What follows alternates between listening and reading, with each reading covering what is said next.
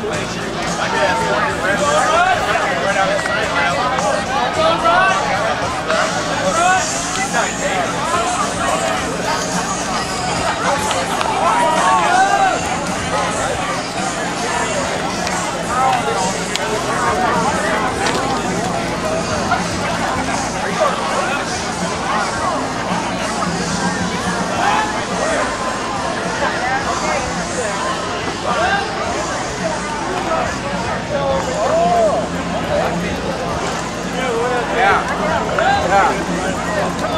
Adios.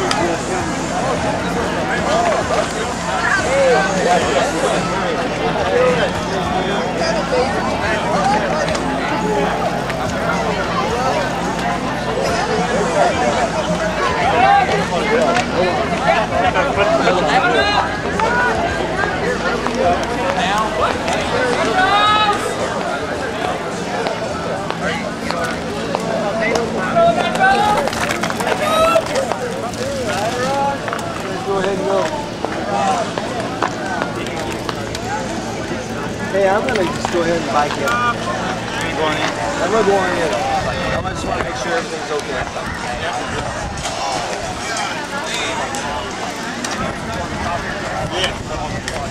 So, but if you guys want to go down to the bar down there,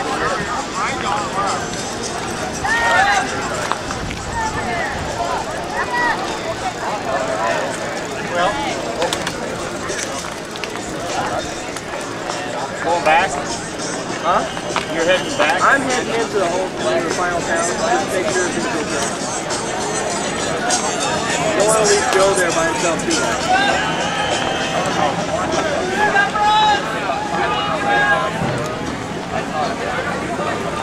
You guys go ahead, go and do whatever. You guys want to go down? You guys want to go down to the bar down here with the rest of them? Go ahead. All right,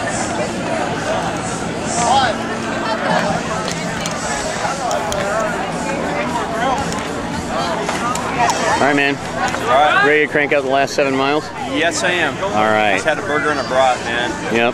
Then, then he's got some fuel in him. He was Run out dra- gas. he was dragging a little bit. We had another really good draft coming in here. This was had to be at least 30 people in this in this train that we were on.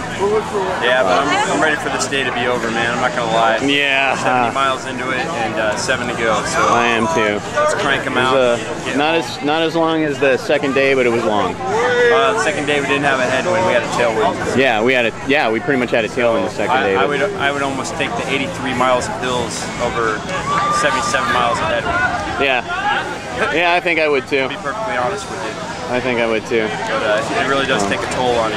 Yeah, yeah, it So, does. uh, 70, 77 miles into a headwind is freaking long, any way you look at it. So, All right, so we'll, we'll see you in Tama. all right.